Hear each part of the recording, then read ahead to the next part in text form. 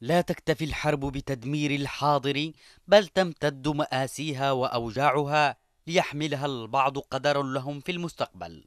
وبحسب الصليب الأحمر فإن ستة آلاف يمني أصيبوا بإعاقات دائمة خلال العام 2015 جراء الحرب التي شنتها الميليشيا على معظم المحافظات. إيمان شابة من عدن أطاح انفجار في منطقة البساتين بساقيها وقتل زوجها الذي كان برفقتها لتضعها الحرب في تحد مع مواصلة الحياة. ثابت علي هو الآخر لم يكن يتوقع أن الميليشيا قد لغمت كل مدينته ليتجنب الخروج إلى شوارعها ويحافظ على ساقه التي تعرضت للبتر بعد أن أنفجر بها لغم في أحد شوارع مدينة كرش التابعة لمحافظة لحج أما سليمة فقد أصابت قذيفة للميليشيا منزلها وقتلت عمتها وجرحت زوجها وأطفالها الستة.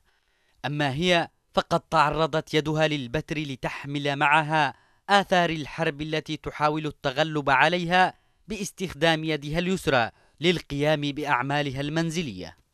علي عبد حزام مدرس رياضيات تسبب انفجار كبير بفقدان ساقيه في أغسطس العام الماضي أثناء سيره في حي الكنب بمدينة تعز لتتركه المعاناة في تحد مع مواصلة مهنة التعليم. الأطفال أيضا كان لهم نصيب من المعاناة. خلود علي البالغة من العمر عشر سنوات فقدت ساقها اليسرى في انفجار ضرب منزلها وأودى بحياة والدها واثنين من أشقائها لتعاني الحرمان من الأسرة والإعاقة في آن. أما الطفلة حياة ذات الأعوام الثلاثة والتي تنتمي لمحافظة عمران فإن تجربتها مع الألم كبيرة بعد أن فقدت شقيقها وساقها بغارة خاطئة للتحالف لتبقى على هذا القدر من الألم.